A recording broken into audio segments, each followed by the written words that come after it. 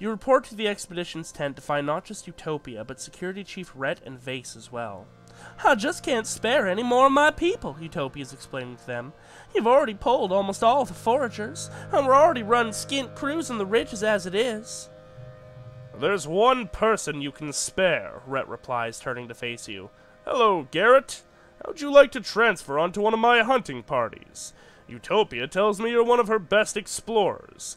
We could use someone like you. He indicates Vace. I need someone who can keep up with this one. Vace puffs his chest out proudly. Why do we need to kill them? Vace laughs. Because they're killing us, Garrett. Keep up. My Rhett and Vace voices are very similar now. That's not good. I like Rhett. He clenches his fist. It's the classic struggle between humanity and nature, he says. Nature's not all flowers and rainbows. On Earth, everything and everyone was trying to kill each other. For survival, for food, hell, even just for fun.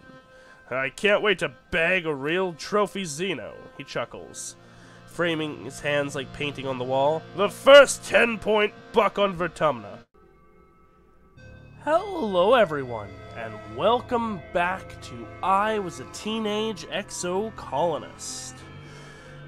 We begin our first month of 17 getting to explore everyone's, um, I'm assuming final design.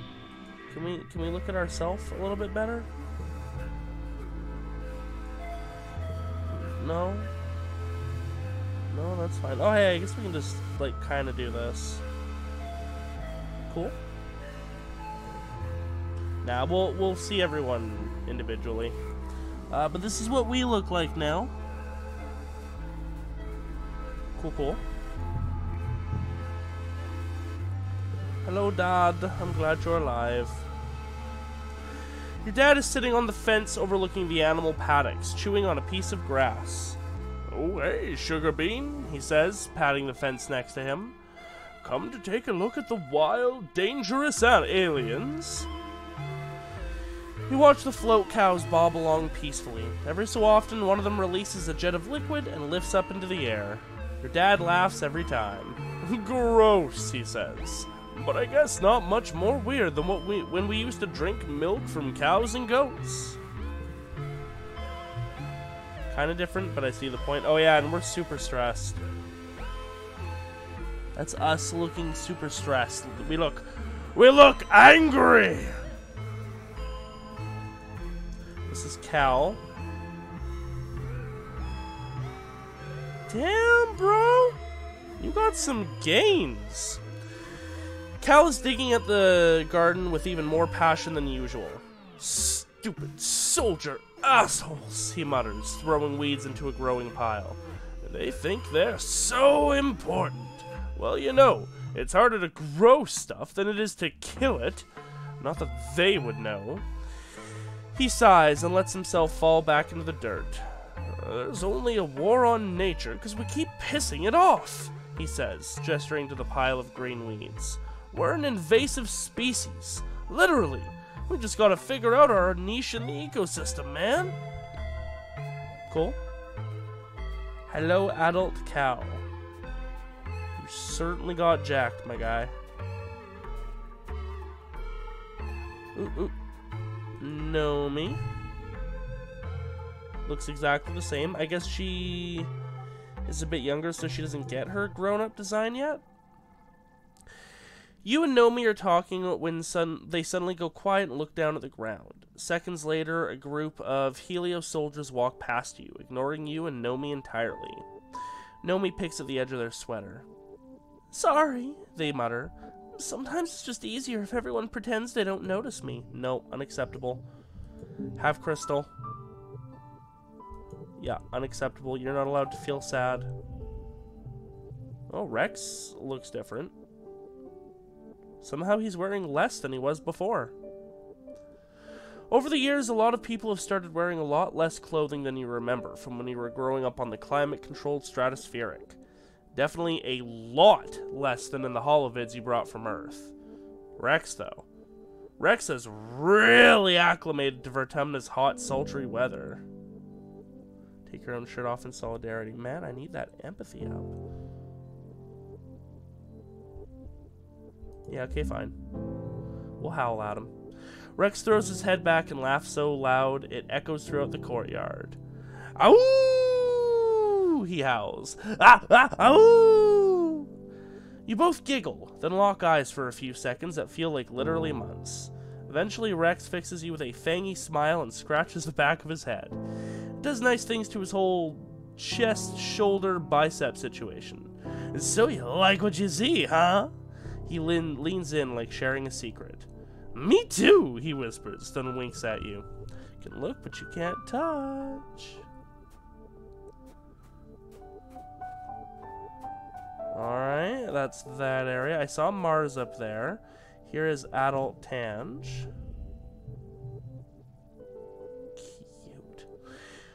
Have you seen my delinquent brother? Tange asks, already agitated. He was supposed to appear for his vaccinations before leaving on expedition again. Dr. Instance messaged me, like I am his keeper or some such nonsense. She sighs and pinches the bridge of her nose. I am done minding him. If he wants to cough up flower petals for three weeks or whatever else you mind is out there just waiting to infect us, he's welcome to muck around and find out. I don't think I actually have a gift she'd like. Have a crystal anyway. That's fine. I've got plenty. Lots out during glow. You spot Nemmie playing darts with a bunch of other soldiers. She throws a dart and it lands clear in the middle of a faceless's well, head isn't the right word, but she soldiers but the soldiers all cheer and clap her on the back. She breaks away from the group and slings an arm over your shoulder. Did you see that, Garrett? How are we doing with you? 71. Okay. Not the highest friendship, but I think our romance is still progressing. Log? Log. Not a favorite, but she'll take it. Log log. There's Mr. Vace. Looks the same, just more. Okay, I have nothing for you. Oh, apparently there was a patch for the game in between this is my last recording where the gym now does something. Yeah, we don't have to buy cards now. We can actually upgrade ones we already have. We spend kudos doing it. Maybe we'll do that. Let's go talk to Marz. Marz is watching holovids, propping her head up with her hand. Newton's bloody apple, she curses. We have got to start producing our own entertainment soon, or I'm going to literally go mad. Well, have a crystal. How we doing? 170%, 40%. No changes. Apparently they fixed something to do with the backpack, too. Looks fine to me. Uh, we did get a few new items that we can get now. Plus $15 skills is pretty decent, actually. Um, plus 30 engineering. My engineering's already almost at 69. Vintage focus device of fidget spinner. Oh, God all brain cards become uh, values become wild. That's actually kind of hilarious. Okay. Vert Space Helmet. I feel like that might be new, and that's literally it. Okay, no, we'll save our kudos for now. Upgrading those cards is probably what we'll spend them on, but no reason to go nuts on it for now. Is Dys out here? Let's see what he looks like. There he is. Oh, wow. He's cybered up. This war, Dys says, staring out into the wilderness, doesn't make any sense. What, what are we really fighting anyway? Nature? So when will it be over? When the planet is empty, except for humans? Dys shakes his head. Sounds awful. Indeed. Alright, well, I'm going to rest on the walls, I think. View from the top of the towers is stunning. In almost every direction, you see the untouched beauty of Vertumna spill out before you. Well, except for where they've cut down a bunch of mush trees, and where the expedition's vehicles have churned up the dirt, oh, and where the drainage system has made a big muddy puddle, and, and... Yeah, we get it. It's a gem card, so it might be worth keeping. But it is only a 2. Let's get rid of it. Up our values. It's your 17th birthday, but it's not just your birthday. Quiet is a time of new growth, a celebration of life and hope, not for just this year, but for humanity's presence on Vertumna for years to come. You and your friends are the symbol of that hope. Quite literally, you are the future of humanity. As you're all beginning to take your places as adults in the colony, the council has decided to throw a party in your honor the Vertumnan Youth Ball. Marz is organizing it, of course. You get an embossed invitation on real paper slipped under your door. Uh, yes. You slip into some party clothes and head over to the lounge to celebrate. Well, yourselves. And yourself specifically. It is your birthday, after all. The lounge is all decked out. The decorations look expensive. Must have taken a lot of nanoprinter creds. Your friends are transformed too. Everyone is dressed up and looking like the young adults you're becoming. You can hardly recognize some of them. Marz catches your eye and waves, her bangles jingling joyfully. She looks like a model from the Holomags, every inch of her primped, painted, and perfumed. Garrett, happy birthday! I'm glad you could make it, she says, over the steady thrum of the music. Drinks are over there. Make your song request a congruence, and take off your shoes. You look down at your boots and back up at Marz skeptically. She rolls her eyes and does a little bounce. Sock hop! Just like Earth, duh! At the refreshments table, Cal is stuffing his face with party food, and Rex shoves two glasses of punch in your hands. Gotta stay hydrated, he says, pouring himself another glass. we'll be sweating it out one way or another, he winks at you. Don't let them fool you, Tangent mutters, joining you. She smears a glob of something pink and meaty looking on a cracker. It's a well documented phenomenon that people inexperienced with imbibing alcohol will begin to act as if they're drunk even if they're completely sober. To Rex, she adds, I mean, of course, that I am not going to suffer any bad behavior. Rex grins as he pulls a flask out of his vest and pours a healthy addition into his glass. Who says it's gonna be an act? Let's get a little loose! Come on, it's a party! The music changes to something with a fast pounding beat. Rex throws his head back and howls. Woo! It's time to dance! Hell yeah, we dancing. You, Rex, and Marz take to the dance floor. After a while, Nemmie follows, pulling Vace behind her. Mm. You all dance until it feels like your heart is going to burst. From excitement, from exertion, and from the sheer joy of throwing yourself around the room with your friends. Nomi, who's playing DJ with Congruence, spins up something a little, a lot slower, more romantic. Grab a partner and pull them in close, they announce dreamily, or whatever distance you both feel comfortable with. Love you, Gnomester. Wow, we have...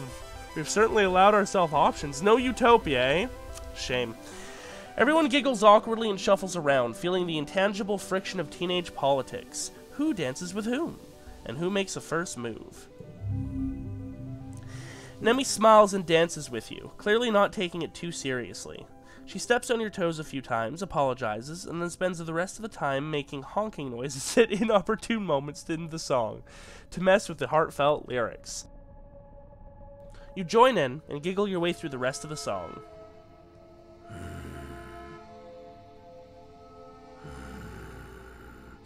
After your dance, she politely excuses herself and goes to dance with Vace.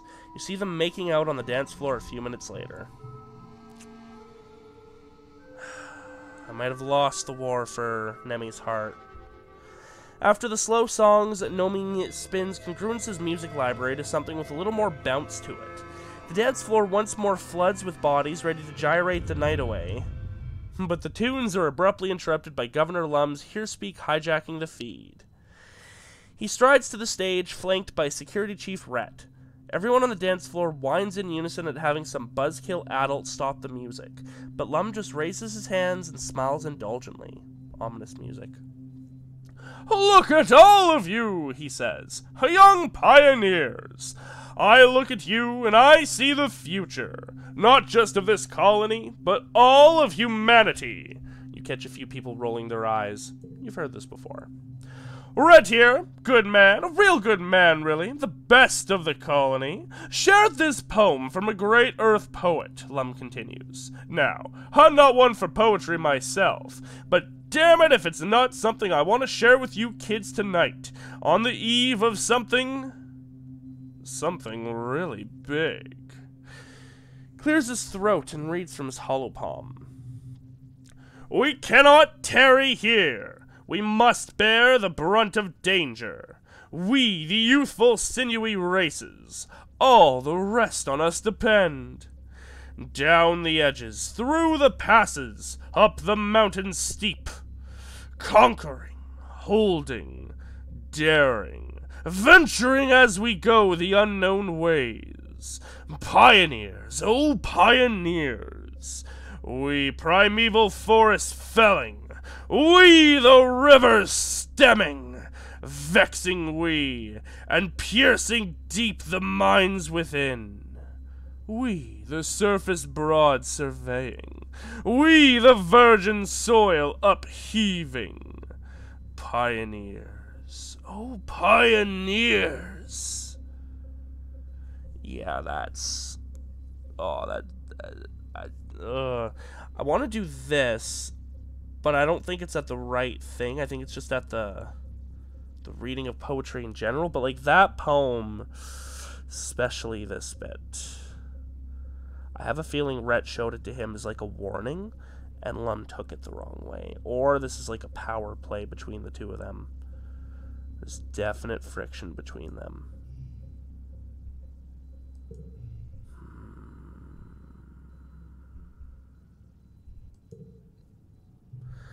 Rhett looks a little pained, but Lum continues. What do you think that poem means, kids? he asks. Does it mean we should sit here in our colony, politely waiting for this planet to make a space for us? He clenches his fist evocatively in the air. No! he exclaims. It means we need to get out there. We need to grab Vertumna by the balls and make it respect us. Yeah, that's bad. He points to you specifically. I need you, the next generation, to lead the charge. This is your planet, and you're old enough now to defend it. I'm asking all eligible fighters to join squads massing at expeditions, to get out there and attack those monsters where they live.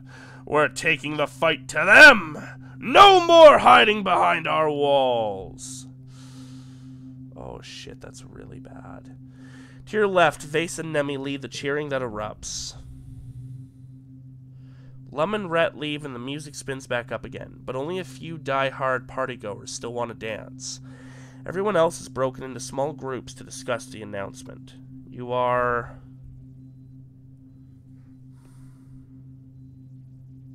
It's bad, okay?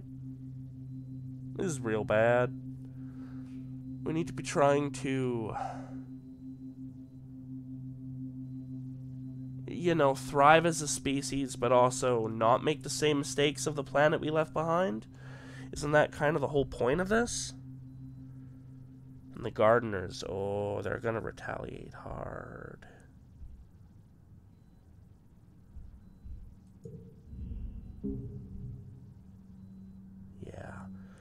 This is bullshit, Cal exclaims, causing a few heads to turn. They're not even going to try to figure out why the animals are attacking us. They're just going to kill, kill, kill. He waves his arm over, arms over his head. Aren't we supposed to be better than that? Dys clearly agrees, though much, though more, much more quietly. They don't even know what's out there, he mutters. They have no idea what they're up against. Only we do party fizzles out as everyone drifts away from the lounge. You return to find your dad has stayed up to make sure you got home safe. He's never done that before. You've always been told the colony was safe. Now, you see his sad eyes, and you know that time is over. Yep. Yeah, that's that's bad. That's bad. Okay. That's bad.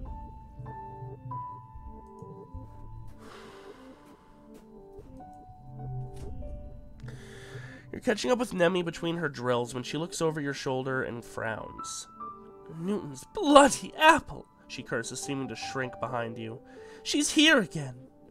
You turn, and at the other end of the garrison, you can see, see a bleh. You can see a small crowd of young soldiers forming around Chief Steward Antecedent. She's handing out lunch tiffins and doing doling out hugs to everyone who comes within melee range, which is quite a few of them. You've noticed, just from hanging around the garrison, even some of the transplanted Helio soldiers have started calling her Auntie. This must be why. She comes by every couple of days, Nemmie grumbles. Like we're still kids in the creche, playing in her skirts. It's so disruptive. I'm, I'm not gonna lie, Nemmie, I kinda don't like who you've grown up into. I mean, I don't hate you, but... We're gonna butt heads, man. Eventually, the crowd around Antecedent thins and she makes it over to you and Nemmie. She greets you with a warm hug. She smells nice, like flour and yeast. Hello, Garrett, she says. Have you eaten? Not yet. She smiles fondly and hands you a tiffin, still warm. It's important to keep your strength up, my love, she says and pats you on the cheek. Antecedent turns to Nemmie. You can almost feel the temperature in the room drop several degrees as Nemmie stonily, stonily stares down at her mother.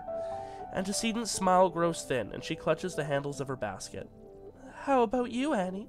Have you eaten? Do you need... Nemmie scowls and crosses her arms. I'm fine, she says, cutting off her mother. Just like I was yesterday and last week. I don't need you to manage me. I wish Calm was alive. If you're sure, Antecedent responds hesitantly. It's a mother's job to worry, Annie. She reaches out to lay her hand on Nemmie's scaly cheek, but Nemmie jerks backwards and slaps her hand away. Damn it. Oh, yeah? Nemmie retorts. You just sit around and worry. Must be nice. I bet you'd like it if that's all I did too, huh? If I quit being a soldier and spent all day cuddling babies and wiping noses and fixing clothes like you did, nice and safe in the creche forever. Ah, she's not gonna like this. No. Nemmie turns her frightening scowl on you. Stay out of this, Garrett! I've never thought that, Annie, she says, laying her hand on her heart. I worry because I love you, and I always will. I'm just doing what I can to keep you safe. Love doesn't keep anyone safe, Nemmie exclaims, raising her voice enough that some of the soldiers turn their heads to watch. Her thunderous... Oh, fuck, I really wish I'd kept Calm alive. Her thunderous expression convinces most of them to get back to their business. Nemmie clenches her fists. Love didn't keep Calm safe, did it? She says, her voice breaking. There's no amount of love or worry on this whole stupid planet that can do that. So you... You should just stop, okay? Stop, or, or do something actually useful. I'm never gonna be like you. I'm gonna fight! Oh no. Mm. Hate you, Vace. Vace peels off from his unit and jogs over to stand beside Nemmie. You okay, babe? He asks, putting his hand on Anemone's shoulder. She covers it with her own and angles her body towards him. Yeah, everything's just galactic, Nemmie mutters. My mom was just about to tell me again how much she wishes I would give up being a soldier so I can pop out babies and be safe. Antecedent sputters trying to explain herself, but Vace beats her to it. Anemone is an exemplary soldier, Chief Steward, he says calmly. I know it's hard for a mother to accept, but we're all much safer for her service to the colony. He puts one finger under Nemmie's chin. I don't. I. I'm trying to like him, but he, I just fucking can't stand him. Puts one finger under Nemmie's chin, talking directly to her. And remember, Nemmie, that we exist to protect people like your mother, to preserve the bond between parents and their children. Vace gives Antecedent a stiff smile. If the stars align, one day we won't lose any more sons. A, eh. a soft O escapes antecedent as she blots her eyes. Oh, you're one of the good ones, aren't you? She says, clearly trying not to cry. Just walking in the footsteps of the good men and women who served before me, ma'am, Vace replies. We couldn't do it without you keeping the hearth lit for us. Speaking of, I'll take lunch if you have any left. Antecedent laughs and hands him a tiffin from her basket, then goes on to her toes to give him a quick hug. Over her shoulder, Vace shoots a cheeky wink at Nemmie, who rolls her eyes and snorts.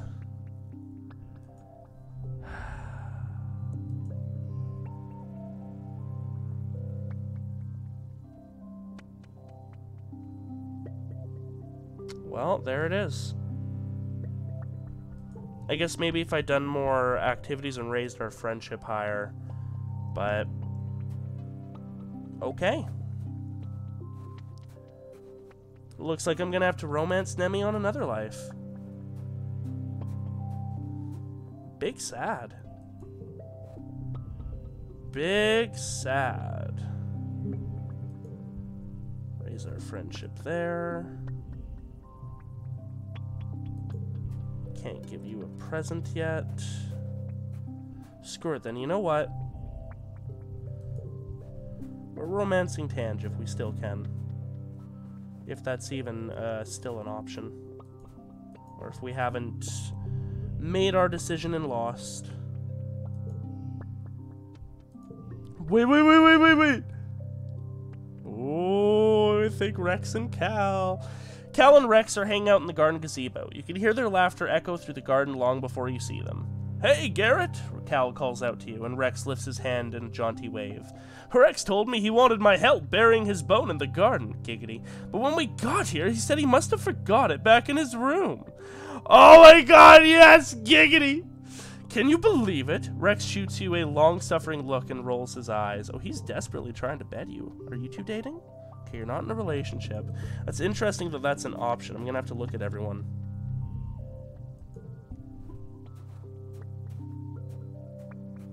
Honestly, we could romance Dys if we want, but...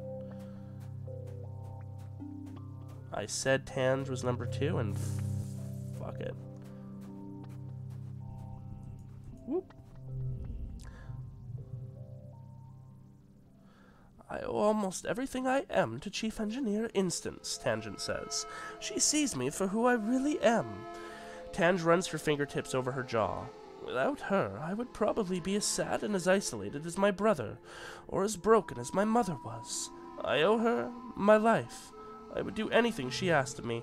Wow, our friendship's dropped to 53. Yeah, maybe we, we kind of don't have a romance this time. Actually, to be honest with you, if we were going to romance anyone, Dys is currently in the best position, although we, we've turned away from any of the flirting opportunities we've had. Maybe it's too early to give up on Nemmie. I don't really know.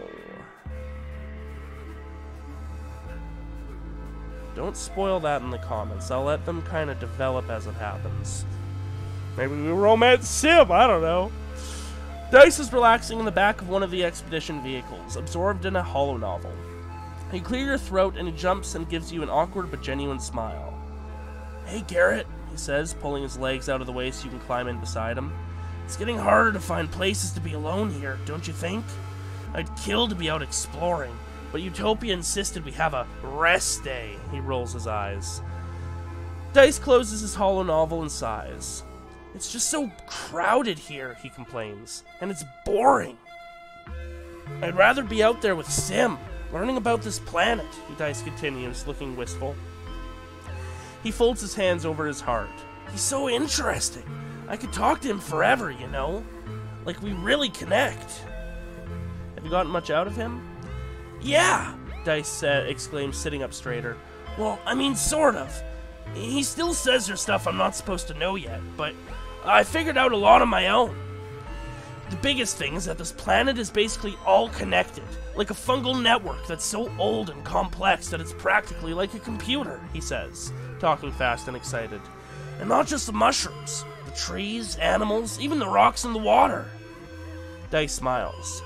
He didn't want me to know that one, he confides in you. but I guessed it. Remember how your dad got sick every year from the pollen? And it was actually fungal spores? Well, I started thinking from there, and yeah, it's like every year the planet refreshes its communication network with fresh spores. It's so cool. I did know that one. Really? Dys says, Well, how about the fact that Dys Sym is really old? Like, really, really old. Dys continues, Like, probably thousands of years old. Sometimes he talks about stuff from ancient history like he was really there. Because he totally was. Dys laughs a little, but he still acts like a kid sometimes, you know? Like, he loves holovids and candy and playing tricks. I did, in fact, know that too. Alright, Dys says. He said that you helped him get access to the holovid archive. Good job, by the way. Oh, and I've seen other gardeners. Now that's new, Dys says quietly. They don't look like Sym at all. They look like, well, they look scary. Whoa, no way. Okay, one more, Dys says, his face going pink. The gardeners didn't have clothes. Sym was naked when I met him. I had to bring him clothes from the colony. I'm not gonna tease him because he'll be upset, but whoa, what about you? What has he told you? Well, Dys is listening intently.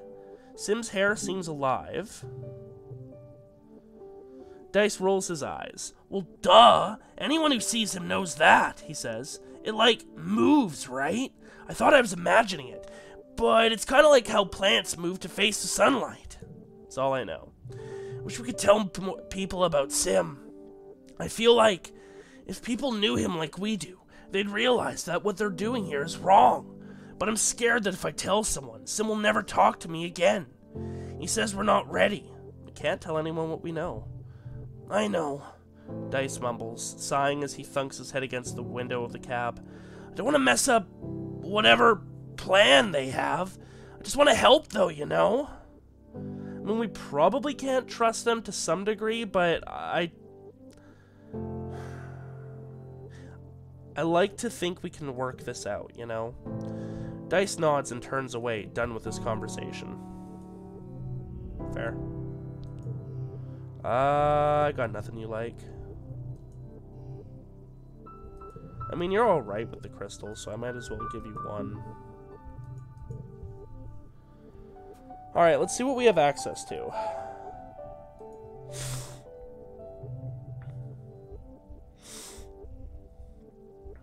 All the same.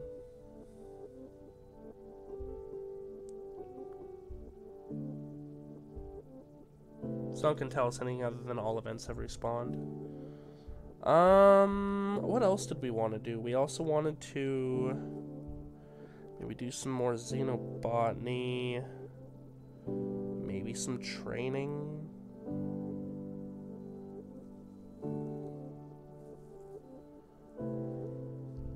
Nah. We need to get back out there and see maybe if something spawned. Oh, hey, it's Utopia. Hi, Utopia. Oh, right. You report to the expedition's tent to find not just Utopia, but Security Chief Rhett and Vace as well. I just can't spare any more of my people, Utopia's explaining to them. You've already pulled almost all the foragers, and we're already running skint crews in the ridges as it is. There's one person you can spare, Rhett replies, turning to face you. Hello, Garrett. How'd you like to transfer onto one of my hunting parties? Utopia tells me you're one of her best explorers. We could use someone like you. He indicates Vace. I need someone who can keep up with this one. Vace puffs his chest out proudly. Why do we need to kill them? Vace laughs. Because they're killing us, Garrett. Keep up. My Rhett and Vace voices are very similar now. That's not good. I like Rhett. He clenches his fist. It's the classic struggle between humanity and nature, he says. Nature's not all flowers and rainbows. On Earth, everything and everyone was trying to kill each other. For survival, for food, hell, even just for fun. I can't wait to bag a real trophy Xeno, he chuckles, framing his hands like painting on the wall. The first 10 point buck on Vertumna. I don't want to kill animals for fun. Rhett scowls at Vace. You won't be killing them for fun. You'll be killing them to defend the colony. Never kill a living creature. No, I, I'm willing to defend myself, but I'm not going out for the hunt. No, fuck you. I'm doing actual exploring. Vace scoffs. Even if it was trying to kill you, I knew you Strato kids were soft. I didn't know you were suicidal, too. Not everyone's cut out for life or death situations, Rhett says, then turns to you. You know, Garrett, it's not all killing, he continues. Sometimes it's about tracking and identifying dangerous creatures before they reach our walls. You wouldn't necessarily have to kill them. He holds up his hand. But you don't have to decide just yet. Talk to Utopia later if you change your mind. Nope. I am here to do exploratory things. I'm not going on a murder spree.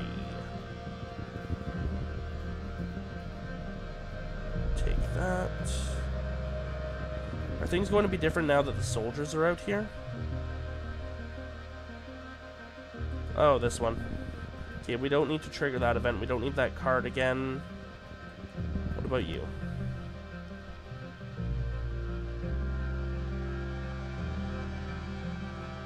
I think we've had this one before. Oh, no, okay. You're trudging along when suddenly you're buffeted by a hot wind. No, like, a very hot wind. Lethally hot. The ridges are already baking, but all of a sudden it feels like you're trapped in a nuclear winter reactor. Your skin dries out and your lips begin to crack. Your eyeballs feel like sandpaper. You take careful readings from a distance, triangulate them, and discover the source of the wind. A red sports ball sized crystal emanator hiding in a small crevice. When you smash it, it doesn't shatter like crystal. It almost looks as if it could have been organic. Was it some kind of defensive barrier? Yet another weird mystery of the ridges. Skip that one.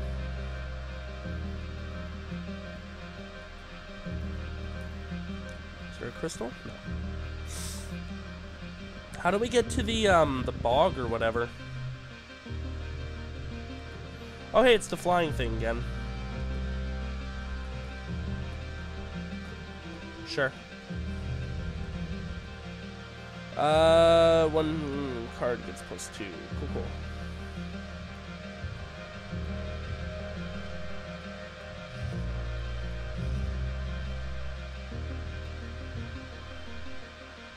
Sure, whatever. That works.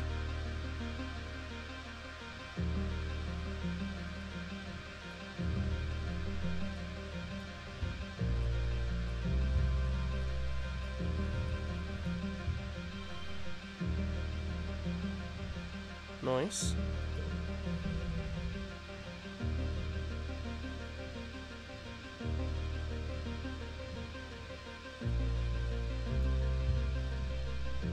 Okay, so what if we do...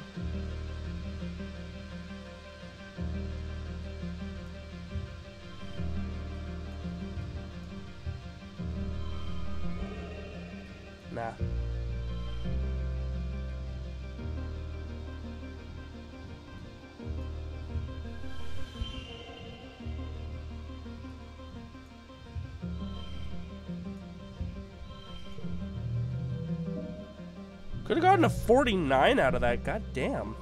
Okay.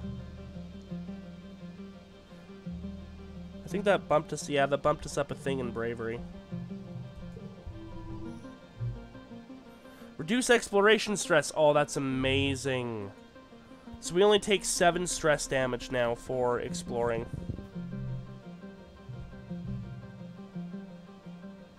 Oh, hey, it's the bouncing weasels again. Your best wildlife documentary voice, you note that the bounce weasels are probably killing themselves off so the rest of the tribe will have a better chance of survival. Or maybe they're migrating and made a mistake, and now they're all plunging to their certain deaths. Such a tragedy.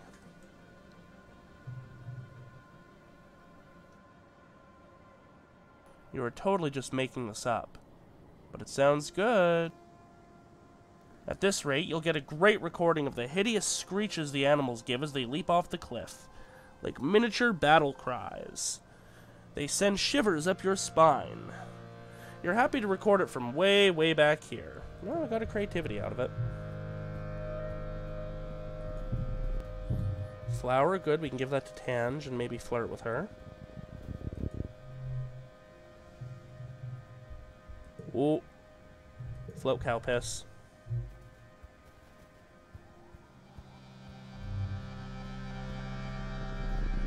Crystal.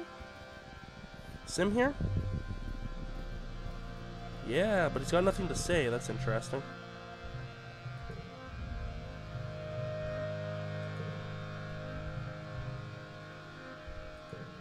Yeah, we'll let it be.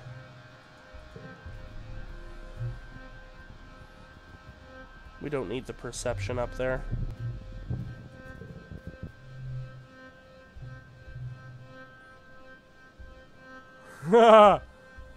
yeah, this one. The whole horde comes along. Good thing, too, because a whole swarm of them is coming over the horizon. You're out of there before... Yeah, okay, same line.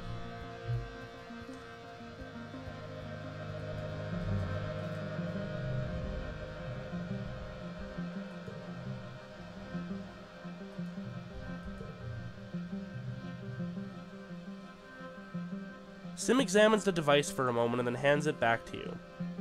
I think you had better hold on to this, Garrett, he says. You may need it later. Ominous. What are we at now with him? Still 40, okay. Dislikes nothing. That's that's actually kind of hilarious and pretty accurate. Are you sure you don't dislike Ningen? T. Ah, the peaceful rock. Yeah, we take that.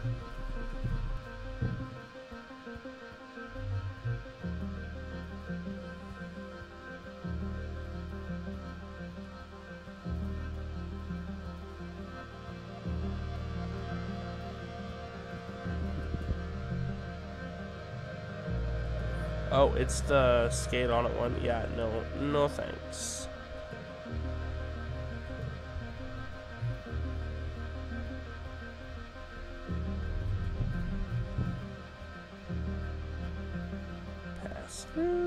Oh, this is the way to go, isn't it? Yeah, it totally is. I missed the other way. Okay, I'll run over there real quick. Uh, honestly, if we can keep our stress relatively low, we can probably do another uh, map next month without having to rest first. You and Dys are poking one of the ruined buildings here, a jet black stone cube now reduced to rubble and overgrown with large snaking roots and clusters of bright crystals. Hello, curious little humans, Sym says cheerfully, popping up from behind it. How is the archaeology going? Are you having fun digging up the secrets of the planet? You and Dys exchange a cautious look at Sym's tone, but Sym just laughs. I'm convinced the others. To, I've convinced the others to allow me to nudge you towards the truth. He says, sitting primly on an outcropping of obsidian that matches his long, oil slick hair. It's not a trick. Dys fidgets beside you, his face unreadable. Well, Sym says, do you have any questions for me? Are you the convergent domain? Sym laughs. Oh no, he says. The convergent domain is extinct. As you can see, I am still quite here. The gardeners are the only part of the convergent domain that still exists today. But we are not them, he continues. We were their tools, tasked with protecting the planet's ecosystem. And now we are something more. Did you kill the convergent domain? Aw, oh, maybe we pressed too hard. Well, Sym smiles his knowing smile, his eyes alight with the secret. Yeah, that's an ominous time to go secretive, man. I think that's enough questions for today. He stands up and dusts himself off. Who can say what happened to them exactly? The earthquakes that formed these ridges shook the planet around that time. But perhaps it was their own greed and hubris that turned on them. Sym makes to leave, but Dys jumps in his way. Wait, he cries. I have a question. Sym tilts his head, waiting. How do I... What if someone wanted to become a gardener? Dys stammers. Is that possible? Sym stares at Dys for a long time.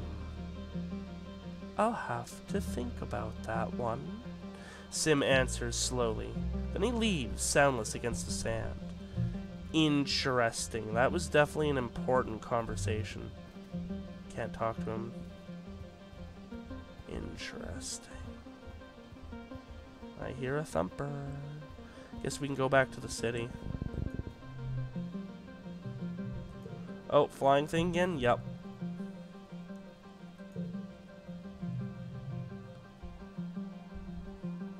Wait and see where it's going again. Just a little bit of stress, okay. I couldn't remember if maybe that gave us a bit of bravery. It, in fact, does not.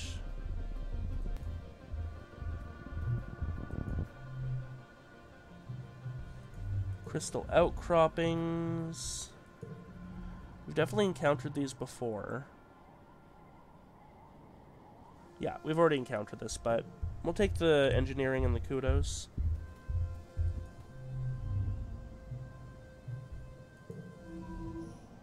Definitely another new, or an old one again. Card gets plus two.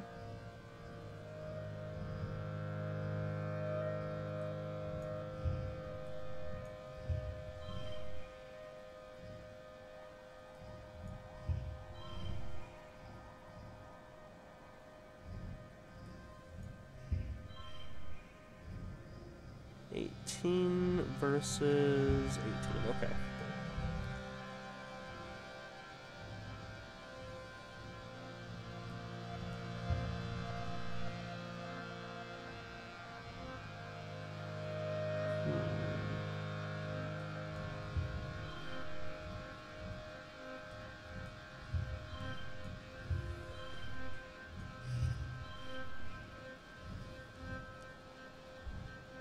Eh, fine.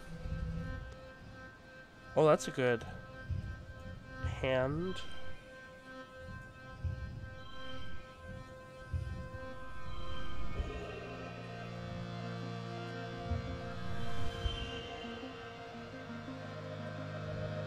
Forty-four, forty-one, forty-four.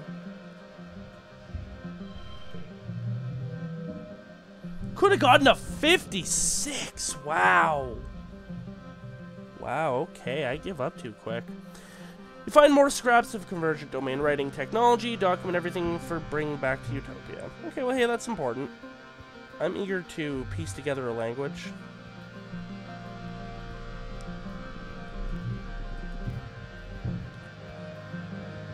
No boss encounter, okay.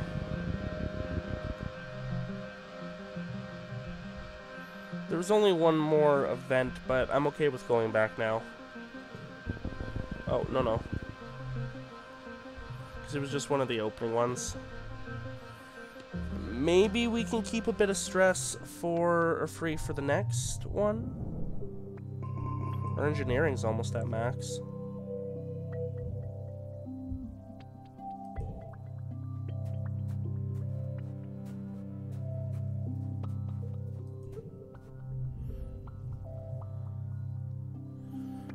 Much care for this war, your dad says, his voice dripping with disdain. I thought we left Earth so we could get away from that kind of thinking. Then a bunch of soldiers show up, and all of a sudden we're back where we started. He shakes his head. Don't like that. Not even one little bit. Yeah, me neither, Dad. I wish Flulu was here. Wow, we have a lot of the strange devices. Maybe we should keep a few? Sym implying that like we might literally need to have some on us later.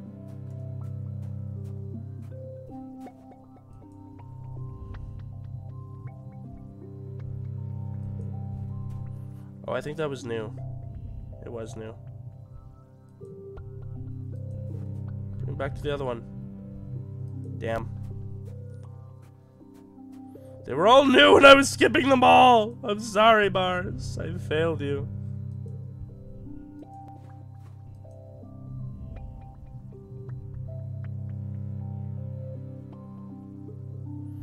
Rex is chatting with one of the young soldiers from the Helio, smiling wolfishly down at her with his hand braced above her head as she giggles. When she sees you coming, her smile drops and she beats a hasty retreat, avoiding your gaze. Rex turns, his confused ex- expression melting away to delight when he sees you. Well, hey, Garrett! He exclaims. Some of the Helios are weird about being seen with me, he continues unbothered. She'll be back.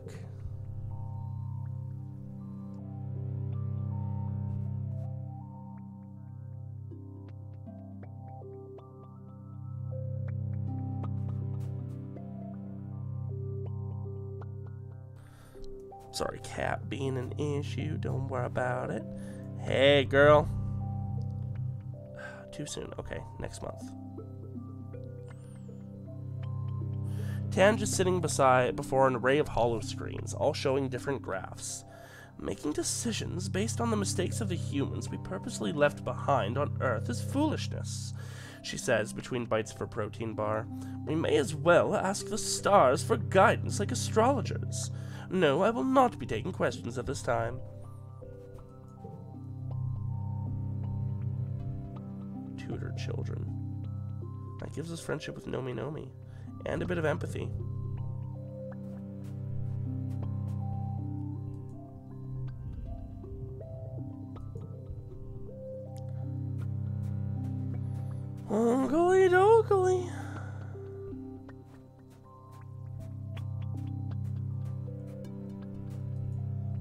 Head right back out there, I guess. I feel like everyone's gone insane, Dys says, looking around at the increased activity outside the walls. It's not just me who can see that, right?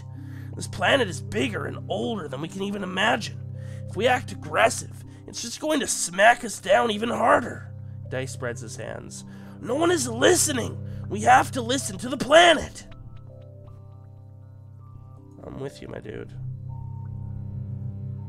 Hiss. Three events remaining. Yeah, okay, I'm down with not doing any more of those. Let's explore nearby, because that hopefully won't take a lot of stress, and I'd like to see this place during non-glow. Oh, hey, Sym's here too. Is he just in every area now? That's interesting.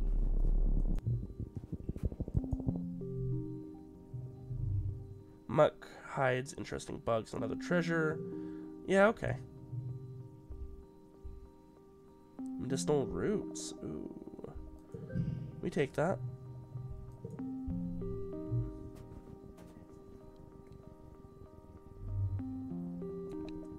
Been a while since I've seen one of those, TBH. Head of you, the road curves right, steep hill. Is this the boulder? Yeah, this is the boulder. Pass.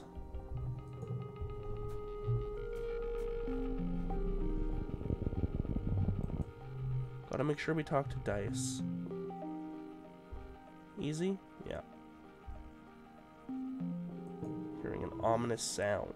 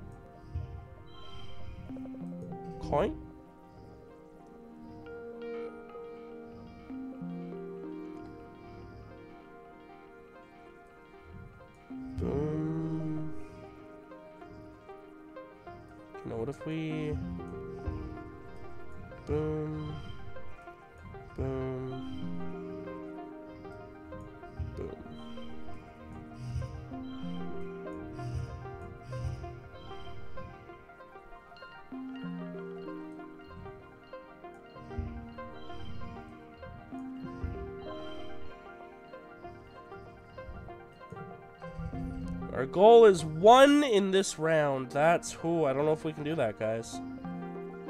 Hey, Uncle Tonin, I forgot about you.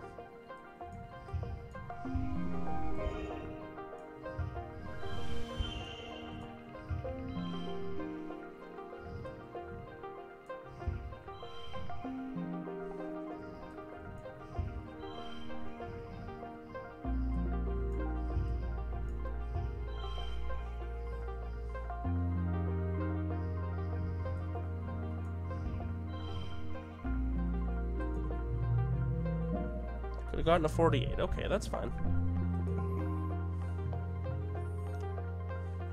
Sound is just alien crickets. Hooray! I need a little bit of de-stress if I can, please and thank you. Okay, well maybe be a bit more selective because we're running out of room. Definitely talk to Sym first. You're enjoying a relatively uneventful second sun of taking readings for one of Utopia's geo geological surveys when. Wow. Your world shifts on a natural axis as Sym comes crashing, crashing, seemingly out of thin air, grappling with a skyfish almost as big as he is. Look out! He calls to you, though it's far too late for that. The ground rushes up to meet you, and it's all you can do to close your eyes and protect your head. To make matters worse, in the ensuing tussle, they completely crush the delicate scanning equipment you just finished setting up. Utopia is going to be so upset. The heck was that? You yell at Sym, who just shrugs helplessly while he holds the skyfish at bay. It's a whole damn mess! What's he doing, bare knuckle boxing with skyfish? Honestly! The skyfish flops around pitifully, then springs back into the sky and flies away, trilling in distress. Didn't even look dangerous, really. Garrett! Sym croaks as you turn your attention to him. Blood is pouring from a wound on his chest where one of the skyfish's spines must have pierced his otherwise perfect skin. It's the kind of thing that will definitely leave a scar, or worse. Holding the wound closed, Sym smiles sheepishly. I guess my future sight isn't always 2020. Holy shit, are you going to be okay? Just made a Black Knight reference. He waves dismissively with the hand that's not holding his ding-dang chest together. Tis but a flesh wound, he says, then smiles. Did I say it right? It's from one of your Earth movies. I quite liked it. He coughs. He and I are similarly difficult to kill completely. He grins. You think it's just a coincidence that I'm always there at the exact time to save you? I knew you could see in the future already. We've discussed this. At night, when I'm in the... when I'm asleep, he corrects himself. I sometimes see visions of things that are going to happen, or at least that could happen. My dreams aren't always true. Oh, we've leveled up with him. Up to 60 now. Sym says, wincing as he applies pressure to the wound. The paths branch and converge. Time is more like a web than a line, I think. He smiles weakly, but always in the center. There's you. I can see the future! Too. Probably because I'm the chosen one. You're at the center of my web, too. Sym coughs. I'm flattered, Sugarbug. I didn't know you thought of me that way. I can't tell you how this future sight works, Sym continues. To be honest, I don't even know. But if you're curious. He's clearly grappling with something and not just a sluggishly bleeding wound in his chest. His voice drops. You might look for answers under the light of the wormhole and glow, he confesses. He presses you press him for more, but he begs you simply leave him to handle his injury in peace. Is that hinting what we already know? 499. We can do one more. If this is the unicorn attack it, no. Yeah, this brings our stress down a little bit.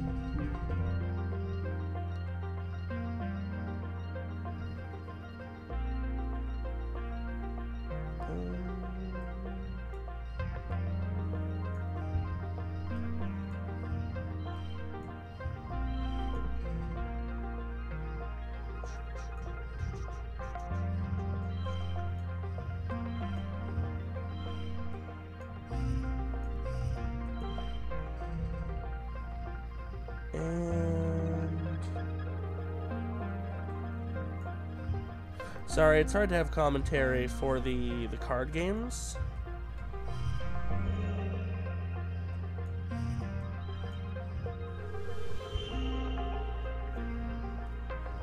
I'm kind of just focused on getting the best deal.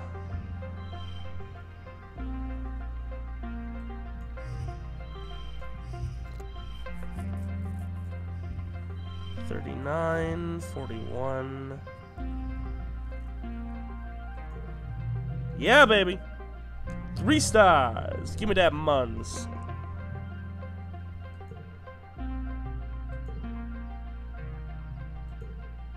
Yes, that's what I wanted.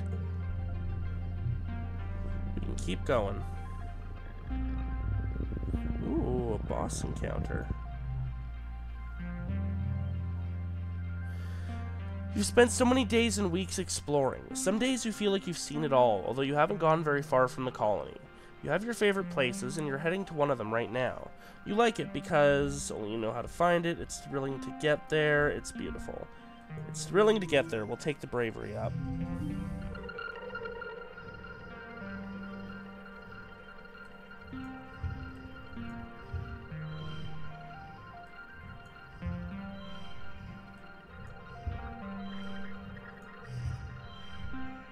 We'll keep the wild card.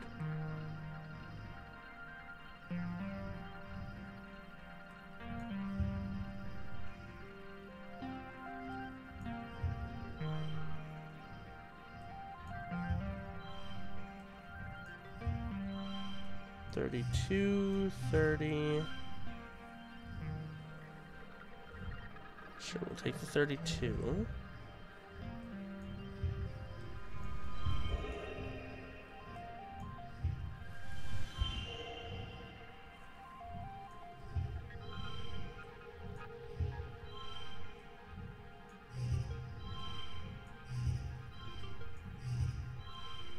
Forty-six. It's got to be the best, right? Forty-seven, apparently. Okay, okay. You have to cross a fallen log over a deep ravine to get there. Today you make it across, controlling your fear and walking steadily without shaking. There it is. Oh, hell yes. Oh, hell yes. You arrive at an orchard of bobber fruit. The sweet, citrusy smell wafts from the red fruit as it red as it bounces enticingly up and down at the end of long branches. You check carefully for animals. You've seen a territorial bush bub here before, but looks like the coast is clear. You can pick and eat at your leisure. Cool. Might be able to completely complete this place before we leave. Then we can rest and head up the, um... Probably the valley. Oh, we've done this one before. But that's fine, we'll do it again. Card becomes three. Oh, I don't like that.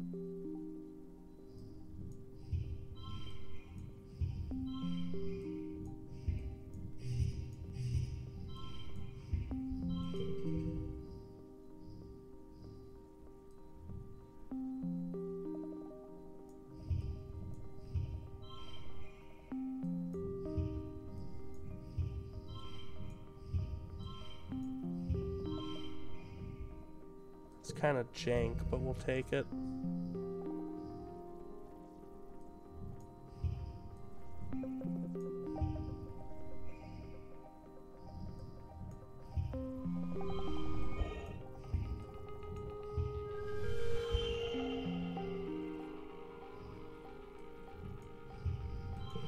That's fine, just get me out of this challenge. That one kind of sucked.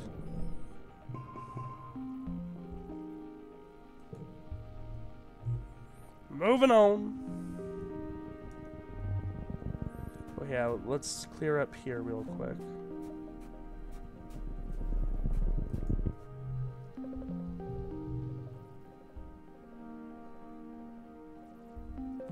We'll give the trees a friendly pat.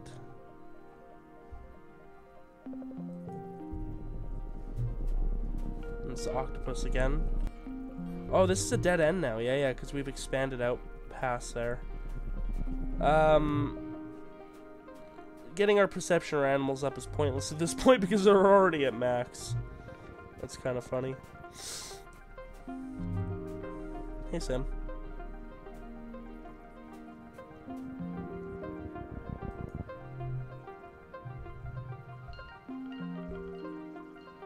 Perception 20. Nothing wrong with a little snow. Spark snow is actually quite pleasantly warm for snow. You continue trudging forward, ducking your head as the hail pummels you back. Ouch. You're still congratulating yourself for being so tough and rational when a snowbank catches your foot and you twist your ankle the wrong way. Owie, owie, owie! Wow. That maybe was not so great. Is it just that one that's left? I think so. Yeah, it is. Alright, well, heck, we might as well finish the whole thing. And more roots we missed.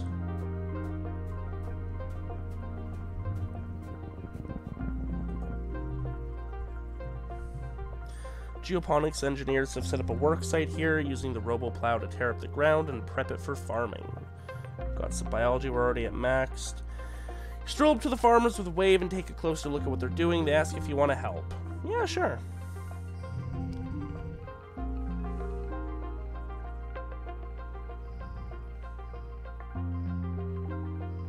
Plus two bonus to straights.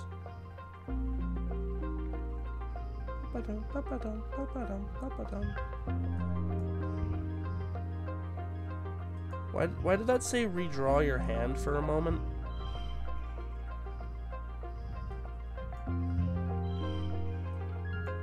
Seems kind of like a waste to...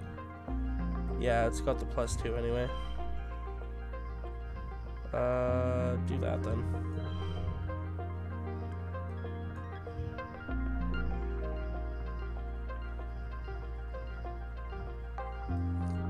Go boom, boom, boom, boom. Not amazing, but that's entirely fine.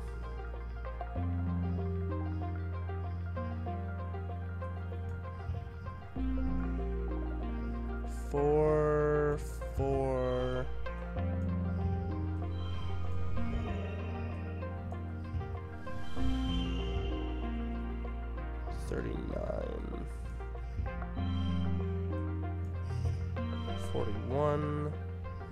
take the forty-one. Could have squeaked a fifty-one out of that. Well, okay.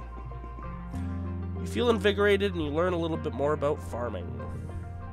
Well, we completed that area like I was hoping we would. Getting those two uh, stress downs really helped. We got some bravery out of that. I think we upped a toughness perk too. Nope. And it's pollen now.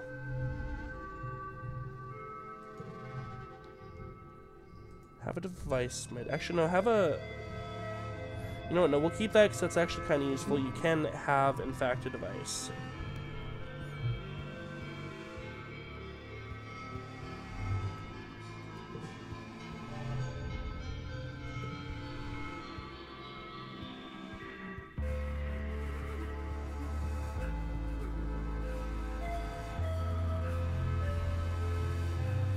Why should I care for nature? Marz asked, flipping her hair over her shoulder. And the only thing nature has ever done is kill my people. I refuse to be held hostage by a planet that doesn't want us here. She smiles, though her overall expression is dangerous. If nature wants to kill us, well, it's only fair we try to kill it right back. No, bad. Naughty. Oh. That. Pretty sure he was hitting on us. Yeah, here it is. Rex whistles as you approach, giving you a heated up and down with his eyes. Did you do something different with your hair? He asks and leans in to sniff you. New cologne? No, is that a new shirt? Whatever you're doing, it's working for you. He makes a claw with one hand and growls sexily at you, then cracks it up. Did we figure out what he does like? I know he gives it back either way, but... Do you want a fruit? Oh yeah, I brought him a birthday present. Oh, how thoughtful of you to bring me a birthday present. And you know what would make this an even better birthday? Sweeps you up into a squeeze before you can protest. A great big hug! Nice. Uh, sup, Gnomester? You look over Nomi's shoulder and see that they're drawing a whole page dedicated to native Vertumnan plants. They look at you and rub their cheek with the end of their pencil. I know we're supposed to believe in Governor Lum, they confess. But, um, what if we accidentally hurt the planet? What if some of the super cool plants and animals die? They look down at their page. I just think it'd be really sad. Crystals for you. Sup, cow? Don't think that one's new. Um, you liked... Yeah, you liked the bobber fruit and the eggs. Have a fruit.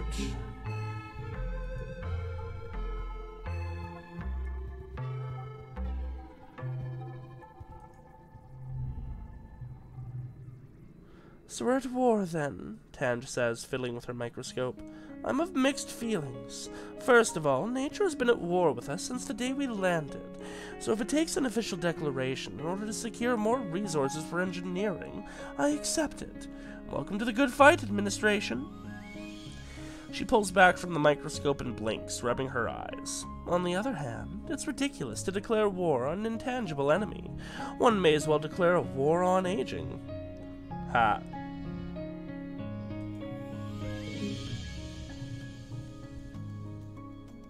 You are more beautiful than any flower. She grimaces. Please don't say that. She turns to walk away, then remembers herself. Thank you for the flower, she says formally. Yeah, maybe we gotta start younger. That felt really weird to say. You know what I meant. Birthday's late wet. We're gonna have to try and make sure we give her a present on that day. Ooh, Xenoegg. Give that to Nemmie. I haven't seen one of them in ages.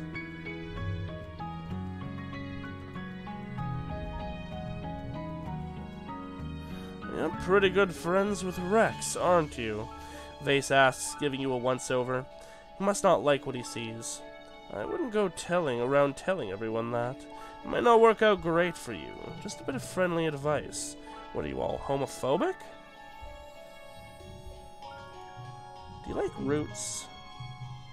Nope. Still don't know what he actually likes.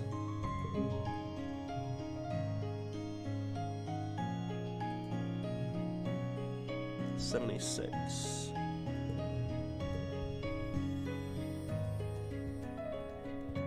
Okay. Now we gotta de-stress.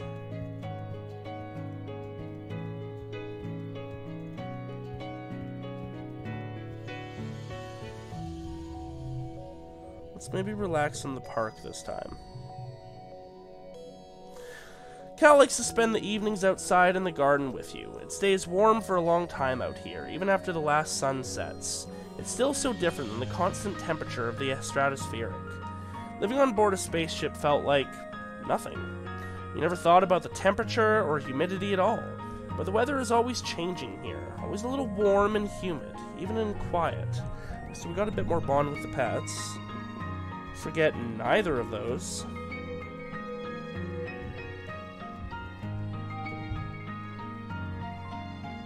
Okay, we're all de-stressed now.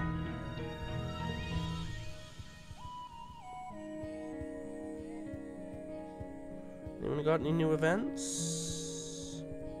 Are we all good? Everyone all having a great time? I don't really care for aliens, Marz says, examining her nails. Why would I? Humans are far more interesting. Uh, and if the aliens are so cool, why don't they have cities already? She tosses her hair. Checkmate, aliens. Marz, don't be dumb. Like, I love you, girl. You're fabulous, but don't be dumb.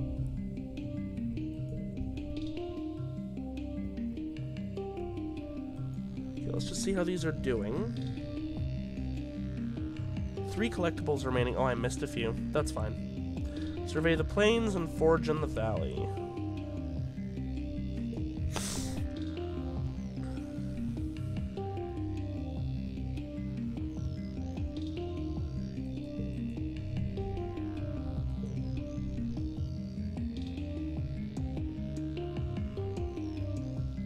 Nothing new with anyone.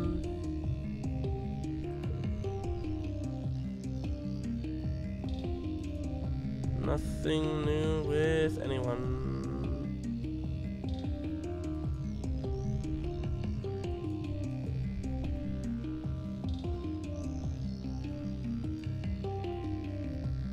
Alright, well, time to head out then. So much for being a politician, eh?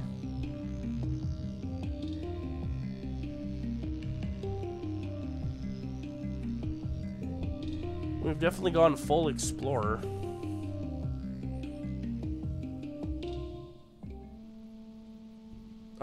What are you doing out here? When you report for surveying duty, Nomi Nomi is here. It's her first day as a surveyor. They smile widely when they see you, smiling exuberantly. Oh, you two know each other already, Utopia says, looking at to you the Nomi. That'll make this easier. Garrett, I'd like to keep you, I'd like you to keep an eye on Nomi while you're out here, Utopia continues. I'm going to assign you to the same regions for the next little while. Just make sure they don't wander into a nest of snap ladders, okay? Yay, hooray. Uh, Nomi cheers and gives you a high five. As Utopia explains to Nomi Nomi and some other new Helio surveyors about the surveying tools, Nomi starts to get bored and wanders a little way from the group. You see it happening, but are powerless to stop them from tripping and nearly landing in a nest of Hopeye eggs. They're just about to crash into the delicate spun glass cocoon when Utopia materializes as if out of nowhere and scruffs them by the back of the collar. Nomi, pay attention!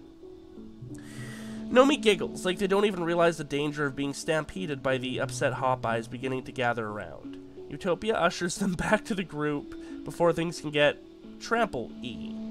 Nomi asks a million questions about the eggs. Are they edible? Do they have hard shells or soft? What is the cocoon made out of? How long until they hatch?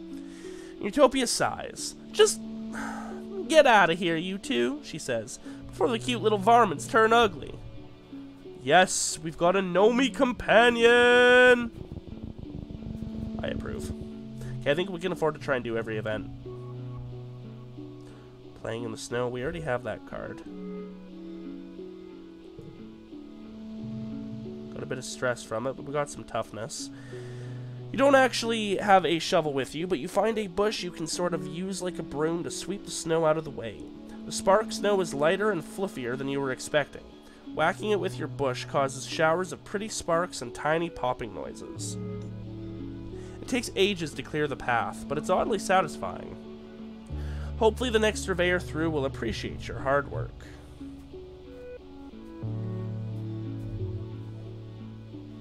Gotta be careful that things don't blend into the background. Just make sure there's nothing else over here. Oh, yeah, flower. Because we did absolutely miss some, um... I think that might have been patched out. Being able to grab items from across the, the way there. Uh, yeah, we don't want to miss collectibles like we did in the explore nearby area. Terrain here is strange, some kind of smooth rock covered in lichens and tiny plants. It's really warm and the spark snow melts when it hits it. Card becomes red. Ooh, that's handy.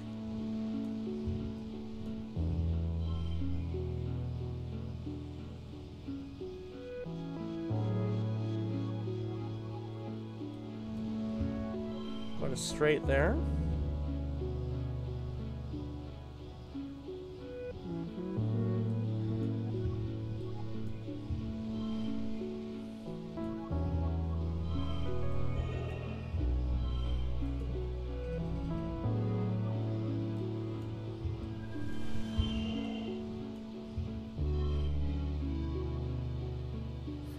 Becomes five.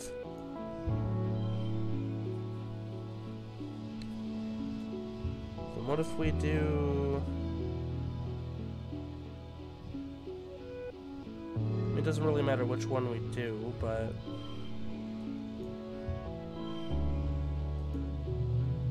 Nice. 57 best. Realize the ground is alive, it's rumbling very slightly. When you, what you thought was a rock slowly opens. It's an eye! It stares at you dreamily and you stare back fascinated. This must be a very ancient creature. It's so vast, it's completely merged into the surroundings. There are even trees growing out of it. A little animal, like a moth with huge webbed feet, lands between you and the massive eye and starts preening. The eyes dilate. The eye dilates to focus on the moth. Then it slowly closes again in what you think must be contentment. After a minute, you feel a faint rumble under your feet. Regular breathing in and out. Snoring. You creep off the creature, careful not to wake it again. Uh, what was it? National Flesh Mystery Flesh Pit National Park or something? A mass of dead bushes blocks your way. They have pointy spines the size of short swords and they look very, very sharp. blast your way through it. Good thing you brought a plas cutter with you. Cut a hole through the bushes. Yeah, we've done this one before. Okay, that's perfectly fine. Oh, hi there.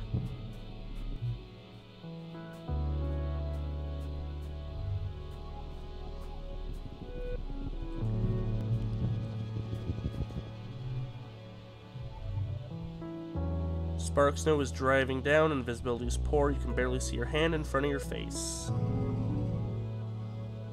Card gets plus two.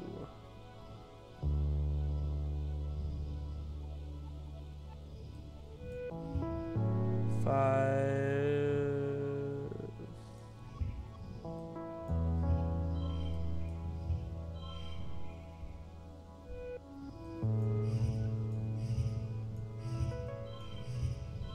Sure.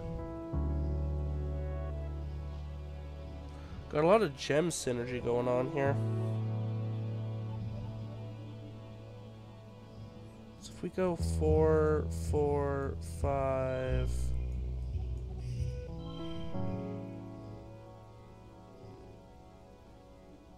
Plus one for each gem on other cards. Plus two for each gem on other cards. So 34 versus 35. I guess we'll take the 35. And then well, these these other ones kind of suck. Not gonna lie, bro.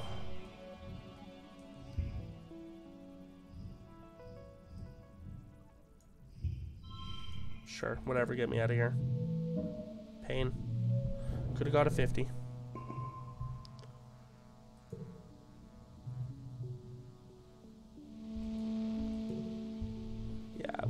Before.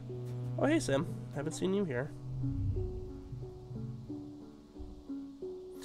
You come up on Sym practicing something that looks like yoga. His body moves in very unnatural ways, like he's double jointed. There's so much possibility in this body, he observes. I cannot help but think humans don't appreciate the limits of their forms. I feel positively nubile. You notice the puncture wound in his chest from the other day is gone. Wow, fast healer. You don't say. Want a flower? I think we've given him the flower before. We should try giving him a different gift.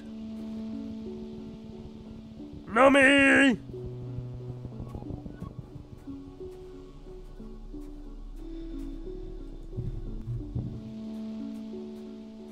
Alright, what's the matter you? You hear Nomi shouting for help nearby. You sprint to the sound of the distress. Yeah, she's not actually in danger. Nomi seems to have fallen head first into some kind of Nomi-sized flower? Is it eating them? It's engulfed Nomi's upper torso, its petals pulsing as if pulling them down further. You could use your plas cutter to cut them out of there, if you can figure out what part of this creature to cut without hurting Nomi. Nomi is struggling, and you hear muffled sounds of distress from inside. No, this is the one um, where they where the where the where the where the, the plant thing gets drunk off it, and so she's totally just in there pigging out and then got stuck. It's five kudos if total equals goal. I might actually do that. Sixty-three. That'd be hard though, considering how much we're gonna rock the first two rounds.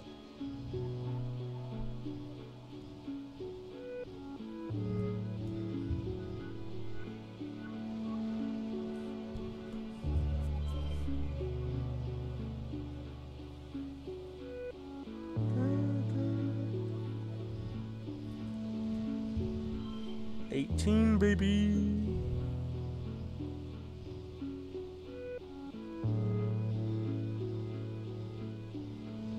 So what if we go boom, boom,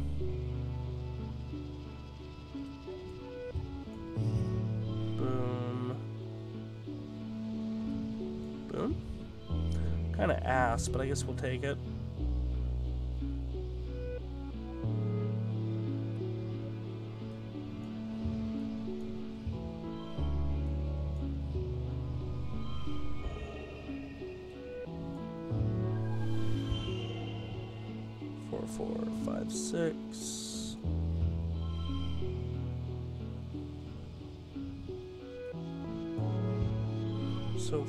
40, 41, 37. Pain. Delicately slice the lyre flower at the underside of the base of its flower, which you guess is the creature's neck. Up close, it actually looks more reptilian than plant like. Just a little nick, and the creature coughs and convulses. Nomi spills forth in a flood of digestive juices. Ew, ew, ew, ew, yuck, my outfit! Stupid flower! Nomi stomps and shakes her fist at the flower, which lurches away on a fat snake like body. I got you, homie.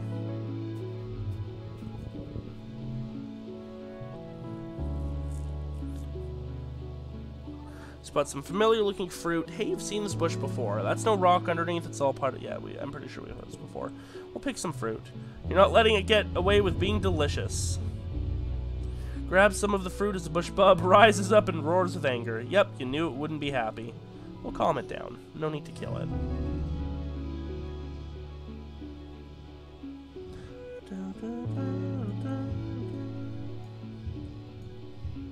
Five, six, seven, baby.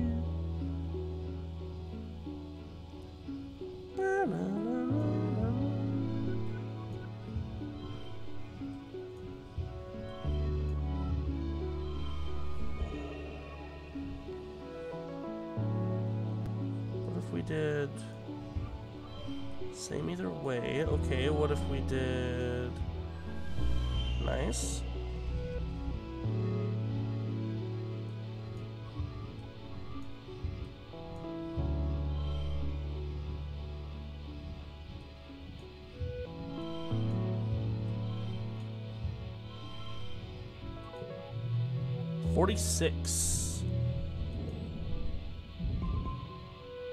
You soothe the bush ball, but it doesn't seem interested in letting you have any of its fruit.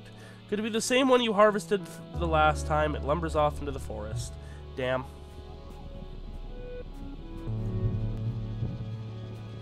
No fruit for us.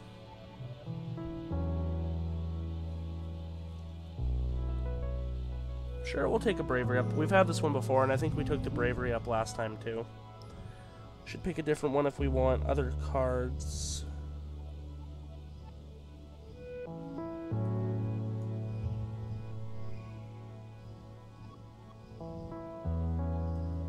Maybe just get rid of these.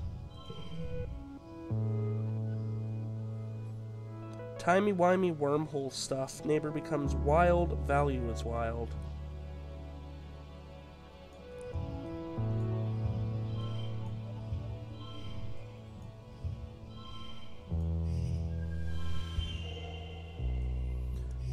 Fifty-two. Interesting. Yeah, because that makes it all blue.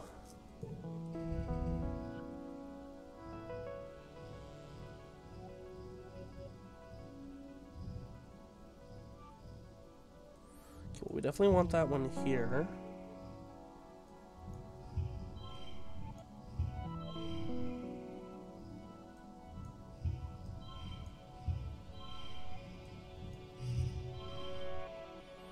Super goal of 45. Does that mean we get the plus 5 kudos?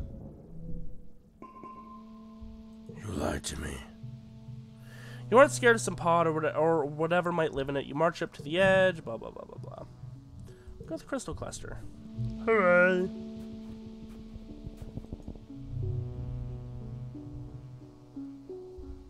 Ah, we don't need to do that one. Unless we run out of things to do, you know? But we've definitely already done it before. And we don't need the perception up. I'm not expecting many new events, although all the stuff with Nomi is fantastic.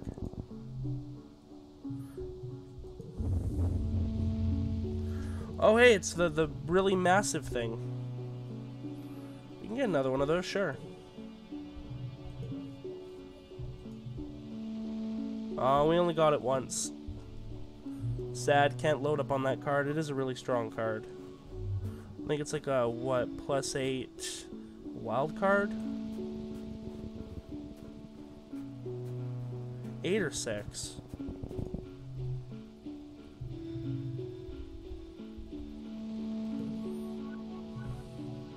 Empathy? Empathy, nice. We've definitely had this one before.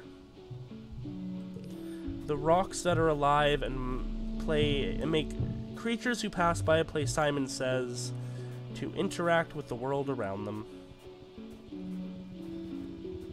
Cute.